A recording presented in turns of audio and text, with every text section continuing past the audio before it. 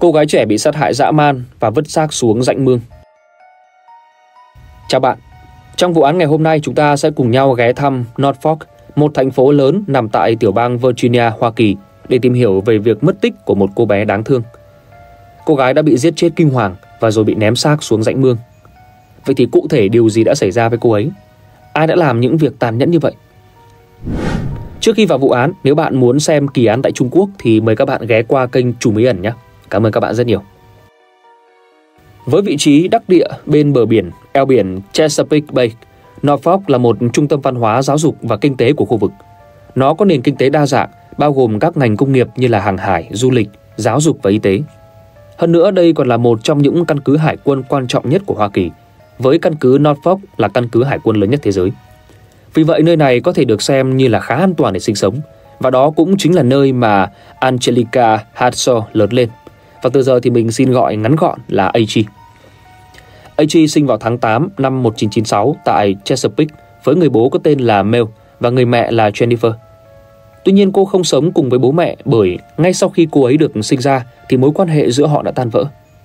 Và sau đó, mẹ của AG đã gặp một người đàn ông có tên là Jack và chính ông ấy là người đã nuôi dưỡng AG trưởng thành. Jack dần trở thành một người cha mẫu mực trong cuộc sống của cô và họ rất thân thiết với nhau. Tuy nhiên đáng tiếc thay, mối quan hệ này cũng không kéo dài quá lâu. Cuối cùng thì AG đã được nuôi dưỡng bởi Wesley Hansel từ năm 2012 và như vậy thì cô ấy lớn lên cùng bố mẹ là Jennifer, Wesley, hai người chị em gái là Gracie, Abby và một anh trai là Timothy. Mặc dù có hoàn cảnh gia đình như vậy nhưng AG vẫn nhìn cuộc sống với tinh thần tích cực. Cô yêu thể thao, chơi rất nhiều môn như là bóng chày, bóng đá, bóng rổ. Cô là một người thân thiện, vui vẻ, yêu đời và hơn nữa cô ấy còn rất tốt bụng. Cô học tại Đại học Longwood, ngôi trường nằm cách Norfolk về phía Tây khoảng 3 tiếng lái xe. Và ở đây thì AG đã chọn học hai ngành liên tiếp, chính là ngành công nghệ thông tin và lập trình máy tính. Năm 2015, cô bước vào năm đầu tiên tại đại học và khi kỳ nghỉ vừa đến, cô ấy đã quyết định trở về nhà thăm mọi người. Tuy nhiên sau đó cô ấy đã không thể quay trở lại trường đại học được nữa. Vào ngày thứ sáu, 27 tháng 2, sau khi kết thúc các buổi học trong ngày, AG trở về Norfolk. Suốt cuối tuần đó, cô cùng chị em của mình đi mua sắm, vui chơi và ở đó thì AG thực sự đã có những ngày rất hạnh phúc bên gia đình. Cô ấy dự định sẽ làm hết tất cả những điều mình thích với mọi người trong suốt một tuần mới trước khi trở lại trường học. Tuy nhiên không may thay, chỉ vừa mới đến thứ ba ngày mùng 3 tháng 3 thì AG được báo là mất tích lúc 9 giờ 15 phút tối sau khi không ai liên lạc được với cô. Áo khoác, chiếc xe tải và ví của AG vẫn còn trong nhà nhưng một số quần áo đã bị lấy đi và chỉ có một tờ giấy để lại trên bàn được cho là chính AG viết. Tờ giấy nói rằng với tất cả những gì đang diễn ra tôi không thể chịu nổi nữa. Nó áp lực quá mức để tôi phải đối mặt và giải quyết chúng. Jennifer bảo rằng dường như là AG đã viết lá thư này trong tâm trạng buồn bã, tuyệt vọng và có ý định tự sát. Tuy nhiên em gái của AG thì cho rằng những lời nói đó không giống với AG một chút nào. Cô cho biết mặc dù gần đây AG mới chia tay bạn trai và gặp một số điều căng thẳng tại trường đại học, thế nhưng cô ấy vẫn luôn tỏ ra rất vui vẻ. Nhưng dù cho tờ giấy đó có phải là do AG viết hay không, thì việc cô ấy mất tích cũng là một cơn ác mộng kinh hoàng đối với tất cả thành viên trong gia đình. Thực ra thì Jennifer đã nhận được tin nhắn từ AG lúc sáng thứ ba. Cô viết rằng cô ổn nhưng chưa sẵn sàng để quay trở về nhà. Tuy nhiên câu hỏi đặt ra là lúc này liệu đó có phải là AG hay không? Hay có ai khác đã sử dụng điện thoại của cô để gửi nó đi? Khi mọi người về đến nhà của Aichi, dường như mọi thứ cho thấy cô ấy mới vừa ở đó. Chiếc loa vẫn còn phát nhạc, đồ của cô ấy còn trong máy giặt nhưng chỉ giặt được một nửa, như thể là cô ấy đã vội phải làm cho xong để rồi rời đi. Lần cuối cùng mọi người nhìn thấy Aichi là vào ngày mùng 2 tháng 3, thứ hai. Khoảng 7 rưỡi sáng, Jennifer ra khỏi nhà đi làm và bà đã thấy Aichi vào buổi hôm đó. Rồi một buổi tối cùng ngày, Wesley nói rằng mình đã gặp AG tại một trạm xăng và cho cô một ít tiền tiêu vặt. Cuối cùng một người hàng xóm cho biết cũng chính vào tối hôm đó, họ đã nhìn thấy cô ấy lái xe trên đường. Cuộc tìm kiếm AG bắt đầu nhưng cảnh sát thì không phát hiện ra bất kỳ dấu hiệu nào cho thấy đây là một vụ mất tích. Hiện tại thì mọi người cần biết cô ấy đang ở đâu và có an toàn hay không. Các manh mối ban đầu là quá ít nên cảnh sát đã phải gặp rất nhiều khó khăn. Sau một vài ngày sau cuộc tìm kiếm cật lực, một người hàng xóm đã bị cảnh sát bắt và thẩm vấn trong 12 giờ bởi vì họ phát hiện tấm thẻ tiến dụng của AG trên đường phố bên cạnh nhà anh ta. Anh ta đã hẹn hò với AG khi cả hai còn học trung học.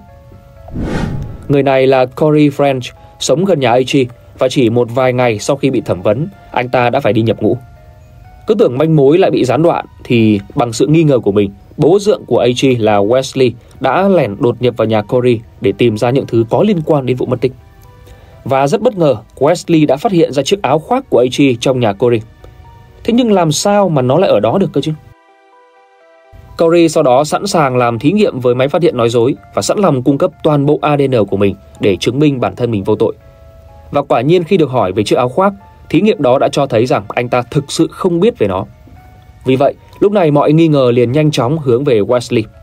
Có thể là ông ta có liên quan đến những gì đã xảy ra với AG. Cảnh sát nhanh chóng phỏng đoán rằng có thể Wesley đột nhập vào nhà Corey và đặt cái áo khoác ở đó. Đáng ngạc nhiên là khi cảnh sát bước vào cuộc điều tra về Wesley, họ phát hiện ra ông ta có một lịch sử tội phạm rất dài từ năm 1996, bao gồm hai cáo buộc đột nhập và một cáo buộc trộm cắp tài sản lớn tại Williamsburg, Virginia. Tuy nhiên, ông ta chưa từng phải ngồi tù lâu hơn 4 năm về những tội phạm đó. Ngoài ra thì ông ta còn có một số cáo buộc như là giả mạo, tấn công người khác, bạo lực gia đình, hiếp dâm, bắt cóc và cướp ngân hàng. Hơn nữa, chỉ vài tuần trước khi AG mất tích vào tháng 2 năm 2015, Wesley đã bị Jennifer đuổi ra khỏi nhà vì nghiện ma túy và làm nhiều việc mất kiểm soát. Jennifer đã cố gắng giúp cho ông ta. Cô từng đưa Wesley đi cai nghiện, nhưng có vẻ như là nó không thành công và ông ta thực sự trốn đi bằng cách sống tại một phòng trọ gần nhà. Đã 4 tuần trôi qua mà cảnh sát vẫn không tìm thấy bất kỳ một dấu vết nào của cô thiếu niên AG. Dù vậy thì bạn bè và gia đình cô ấy không bao giờ từ bỏ hy vọng. Đêm nào họ cũng tụ họp lại để cùng nhau cầu nguyện, mong rằng AG sẽ được bình an. Trong thời gian một tháng sau đó, mọi người đều rất nỗ lực hỗ trợ cho việc tìm kiếm tung tích AG. Và khi biết Wesley làm việc tại một công ty ống nước, cảnh sát đã nhanh chóng đi đến thẩm vấn những người đồng nghiệp của anh ta. Có vài người cho biết hôm đó họ thấy Wesley đi ra ngoài và trở lại khoảng 2 giờ chiều.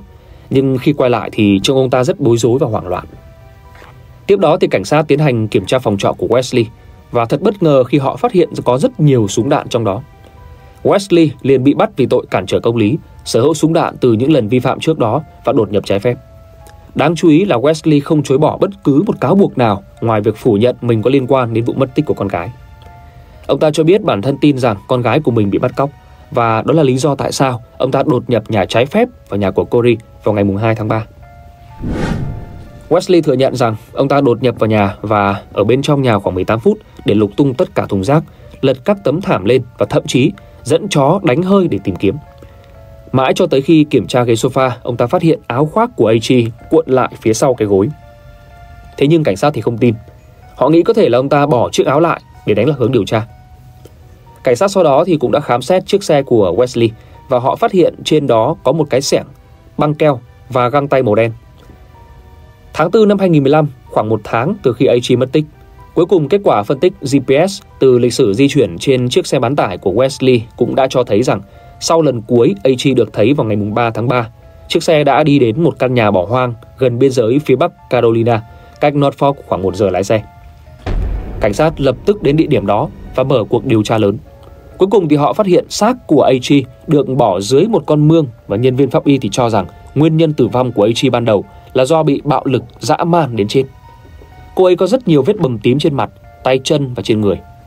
Mặc dù không thể xác định liệu cô có bị tấn công tình dục hay không vì thi thể đã bị phân hủy, nhưng thực sự là quần áo cô ấy đã bị kéo xuống.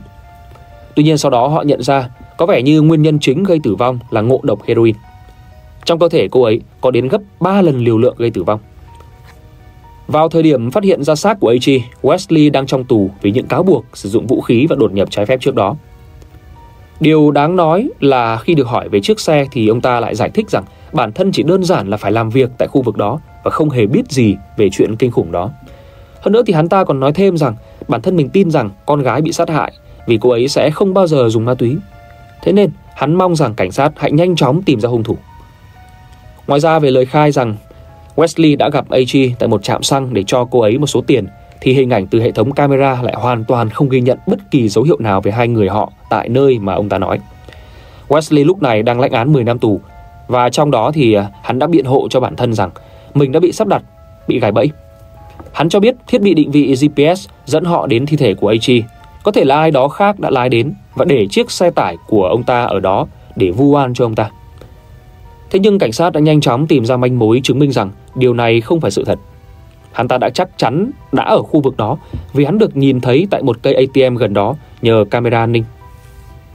Vào tháng 11 năm 2018, 3 năm rưỡi sau cái chết của Aichi, Wesley bị buộc tội giết chết cô ấy. Năm 2020, Wesley bị đưa ra xét xử, tuy nhiên phiên tòa được tuyên bố là vô hiệu bởi viện kiểm sát và bị cáo không thống nhất về những tội lỗi trong quá khứ của Wesley. Phiên tòa thứ hai của Wesley bắt đầu vào tháng 1 năm 2022. Qua điều tra, Viện Kiểm sát cho biết sáng ngày 2 tháng 3, trong khi Aichi đang ở nhà nghe nhạc và gấp quần áo, thì Wesley đã vào nhà bắt cóc cô. Động cơ của ông ta là sau khi bị đuổi ra khỏi nhà thì ông ta tiếp tục dùng ma túy. Không may, Aichi biết điều đó nên hắn chắc rằng bản thân sẽ không còn đường để về nhà nữa. Vì vậy hắn quyết định thực hiện một điều tàn bạo để trả thù khiến cho tất cả mọi người trong gia đình phải đau khổ. Hắn đã bắt cóc Aichi, tấn công tình dục cô, ép Aichi nằm xuống và tiêm cho cô một lượng heroin gây tử vong. Người cung cấp ma túy cho Wesley cũng bị đưa ra tòa để làm nhân chứng cho cáo buộc hắn đã dùng ma túy. Người đó thừa nhận rằng anh ta đã bán ma túy cho Wesley vào ngày 3 tháng 3, tức là một ngày sau khi Aichi mất tích. Điều này đã chứng minh Wesley có liên quan đến vụ án và việc mà hắn ta dùng ma túy là không thể chối cãi. Mặc dù vậy, nhưng hắn tiếp tục bào chữa rằng AG bị trầm cảm. Cô ấy vừa chia tay bạn trai nên cô đã tìm đến ma túy và lỡ tay dùng quá liều rồi tử vong. Tuy nhiên không phải trước đó hắn từng nói rằng AG sẽ không bao giờ dùng ma túy hay sao? Như bạn có thể thấy thì đây hoàn toàn là một lời bào chữa rất vô lý. Vì vậy, ban hội thẩm cũng mất chưa đầy một tiếng để kết tội hắn về cáo buộc giết người câu độ 1.